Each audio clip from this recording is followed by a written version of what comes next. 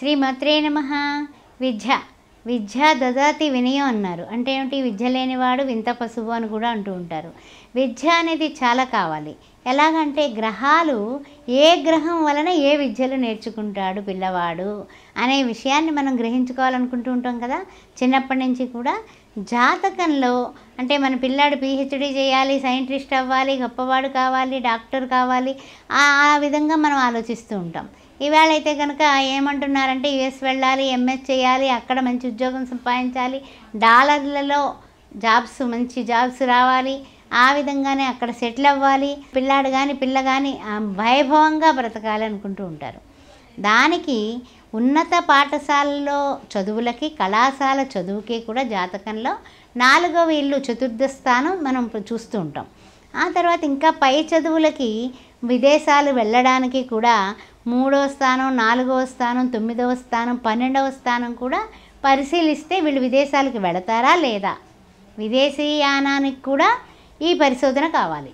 అందువల్ల ఏ చదువు ఏ గ్రహం బాగుంటే ఎక్కడికి వెళ్ళైనా ఏ అంటే ఏ దేశం వెళ్ళినా ఎందుకు ఆలడినా పొగడరా నీ తల్లి భూమి భారతిని అన్నట్లుగా మన యొక్క శుభం కలగడానికి యోగవంతంగా ఉండడానికి కూడా ఏ గ్రహాలు ఏ ఉద్యోగాలకి కారకత్వం వహిస్తాయి అనే విషయాన్ని మనం తెలుసుకుందామా?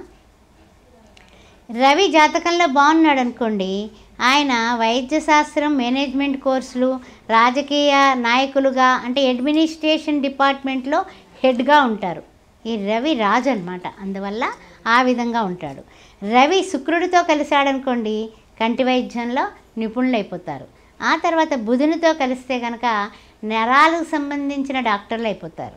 ఆ తర్వాత శనితో కలిస్తే కనుక కార్డియాలజిస్ట్ అవుతారు. తర్వాత ఆర్థోపెటిక్ ఎనస్థిషియా అలాంటి వైద్యులు కూడా అవుతారు. తర్వాత గురుడితో కలిశారనుకోండి ఆయుర్వేద డాక్టర్లు ఉంటారు కదా వాళ్ళందరికీ రవిగురుల యొక్క సంబంధ బాంధవ్యాలు ఉంటాయి.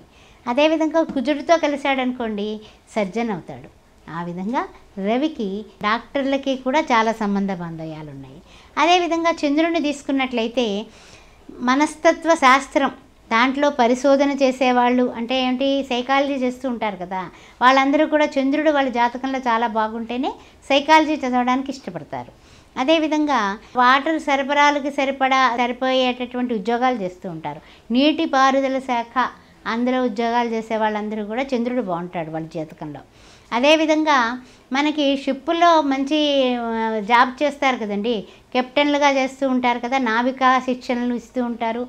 అందువల్ల అలా విధంగా ఉండడానికి కూడా షిప్ యార్డ్లో పనిచేయడానికి కూడా చంద్రుడు బాగుంటే షిప్ యార్డ్లో పనిచేస్తారు. కవిత్వం కూడా వస్తుందండోయ్ ఈ చంద్రుడు బాగుంటే. తర్వాత చంద్రుడు శుక్రుడితో కలిసి ఉన్నాడు అనుకోండి జాతకంలో పాల పరిశ్రమలో నెంబర్ వన్ అయిపోతారు వీళ్ళు. అందువల్ల ఇప్పుడు చూడండి రకరకాల మిల్కులు వచ్చేసాయి కదా. అమ్ముల మిల్క్ దగ్గర నుంచి ఆరోగ్య మిల్క్ వరకు ఎన్నో రకాలైనటువంటి చేసి వ్యాపారాలు చేసేటటువంటి వాళ్ళకి చంద్రుడు చాలా బాగుండుంటాడు. అదేవిధంగా పశువైద్యం కుజుడు శుక్రులతో కలిశాడనుకోండి చంద్రుడు పశువైద్యంలో అంటే ఏంటి? పశువుల డాక్టర్ అయిపోతాడు. ఆ తర్వాత కొన్ని కొన్ని విషయాల్లో నర్సులు కూడా ఈ యొక్క దీని నుంచే వస్తారు. అదేవిధంగా పౌరశాస్త్రం అంటే ఏంటి? మనకి చెప్పాలంటే కనుక మానవ హక్కుల కమిషన్ ఇలాంటివన్నీ కూడా దానికి సంబంధించిన శాఖల్లో పనిచేసే వాళ్ళు కూడా చంద్రుడు బాగుంటే అటు వెళ్తారనమాట అంటే మానవతా దృష్టి ఉంటుందన్నమాట. మానవులని ప్రేమిస్తారు అభిమానిస్తారు చంద్రుడు బాగుంటే. ఆ తర్వాత కుజుడు విషయానికి వస్తే కుజుడు బాగున్నాడు అనుకోండి అగ్రికల్చర్ డిగ్రీలు చదువుతారు సివిల్ ఇంజనీరింగు మిలిటరీ ఇంజనీరింగ్ లాంటివి చదువుతారు. ఏరోనాటికల్ ఇంజనీరింగ్ కూడా కుజుడు బాగుంటే చదువుతారు. ఆ తర్వాత రసాయన విద్య ఆయుధాలు తయారీ అలాంటి శాఖల్లో పనిచేస్తారు. రక్షణ శాఖలో పనిచేస్తారు. ఇంకంతకన్నా ఏం కావాలి? ఆ తర్వాత అగ్నిమాపక దళాల్లో పనిచేస్తారు. తర్వాత న్యాయవాదులుగా ఉంటారు. తర్వాత విద్యుత్ శాఖల్లో ప్రమాణమైనటువంటి ర్యాంకుల్లో ఉంటారు వీళ్ళు. అదేవిధంగా ఇంకా చెప్పాలంటే కొన్ని కొన్ని విషయాల్లో వీళ్ళు ఎక్కడ ఉంటే అక్కడ గెలుపు ఉంటుంది ఎక్కడ ఉంటే అక్కడ సైన్యాధ్యక్షుడుగా రూలర్గా ఉంటారు. కుజుడు అనుకూలంగా ఉన్నట్లయితే.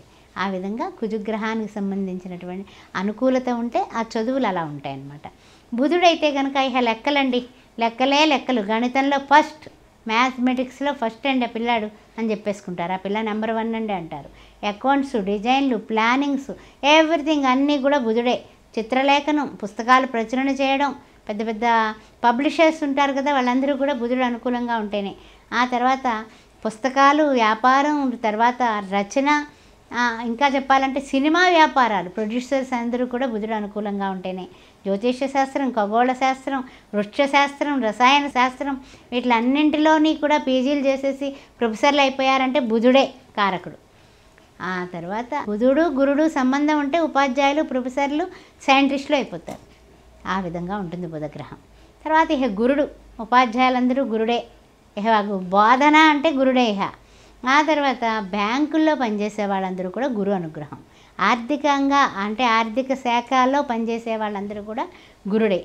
తర్వాత ధనముకు నిమిత్తం బ్యాంకు క్యాషియర్లు కానీ ఆ తర్వాత క్యాష్ లెక్క పెడుతూ ఉంటారు హెల్త్ రోజస్తమాన వాళ్ళు అలాంటి వాళ్ళకి గురుడు అనుకూలంగా ఉంటే డబ్బుతో సంబంధం ఉంటుందన్నమాట. ఇచ్చిపిచ్చుకునే లావాదేవీలు వడ్డీ వ్యాపారులు ఇవన్నీ కూడా గురువుకు సంబంధించినవే.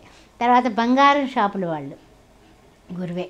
ఆ తర్వాత సంస్కృత భాష పురాణాలు ఆ తర్వాత నోట్ల ముద్రణ. మనకి ఇప్పుడు నోట్లు ముద్రిస్తూ ఉంటారు కదా ఆ శాఖలో పనిచేసే వాళ్ళు కూడా ఉంటారు. వాళ్ళందరూ కూడా రహస్యంగా వాళ్ళు ఉంటారనమాట అందువల్ల అలాంటి శాఖల్లో.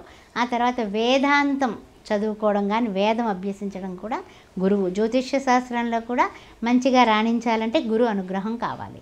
శుక్రుడిహ శుక్రుడు లలిత కళలు ఇస్తాడు. కావ్యాలు కళలు మంచి సంతోషాలు. తర్వాత ఏంటంటే రసాయన శాస్త్రాల్లో ఫోటోగ్రఫీలో అంటే ఇప్పుడు వీడియోగ్రాఫర్లు ఫోటోగ్రాఫర్లు మీడియా అంతా కూడానండి శుక్రుడు అంటే సినిమా యాక్టర్లు కానీ అందరూ కూడా శుక్రుడు యొక్క అద్భుతమైనటువంటి ఆకర్షణ కలగాలి అంటే శుక్రుడు ఉండాలి అక్కడ. గురుబుధులు కలిస్తే రేడియో ట్రాన్స్ఫర్ ఇప్పుడు ఏంటంటే రేడియోల్లో పనిచేసే వాళ్ళు జాకీలుగా పనిచేసేవాళ్ళు వీళ్ళందరూ కూడా శుక్రుడు యొక్క అనుగ్రహం ఉంటేనే. అదేవిధంగా టెక్స్టైల్స్ తర్వాత వైర్లెస్ సుగంధ ద్రవ్యాలు అలంకరణ సామాగ్రి తయారు చేసే ఫ్యాక్టరీలు ఆ తర్వాత అమ్మేటటువంటి ఫ్యాన్సీ షాపులు ఈ వీళ్ళందరూ కూడా శుక్రుడేనండి. టైలరింగు పెయింటింగు తర్వాత శుక్రుడు కుజుడు బుధుడు చంద్రుడు కలిశారనుకోండి ఆటోమొబైల్ ఇంజనీరింగు. ఆ తర్వాత గోల్డ్ స్మిత్లు కూడా శుక్ర శుక్రుడే. అంటే బంగారం తయారు చేసే కంసాలు వాళ్ళు కూడా విశ్వబ్రాహ్మలు కూడా శుక్రుడు అనుగ్రహం ఉంటేనే వాళ్ళు బాగా రాణిస్తారు. అతను చేసే డిజైన్ ఎంత బాగుందో అంటాం కదా ఆ విధంగా అనమాట ఏ శని భగవానుడి దగ్గరికి వచ్చేసానండి.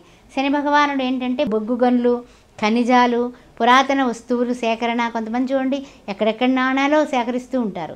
అగ్గిపెట్లు సేకరిస్తారు. వాళ్ళు సేకరించిన వస్తువులు ఇదంతా శని అనుకూలం అనమాట తర్వాత గనులు భూగర్భ నిధులు భూగర్భ శాస్త్రము జ్యోతిష్య శాస్త్రము ఇంగ్లీష్ భాష మీద మంచి పట్టు గ్రిప్పు ఉంటుంది.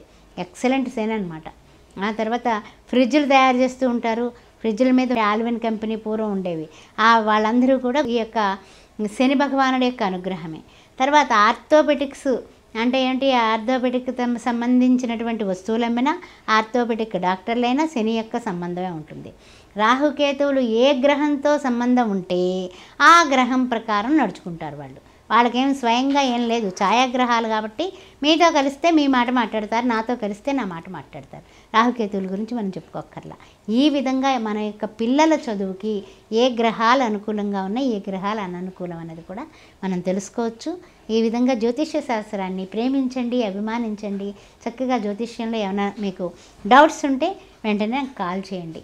ఉండనా మరి? ఆస్ట్రో భాగ్యలక్ష్మి అనే ఈ ఛానల్ని సబ్స్క్రైబ్ చేశారా? చేయకపోతే దయచేసి చేయండి.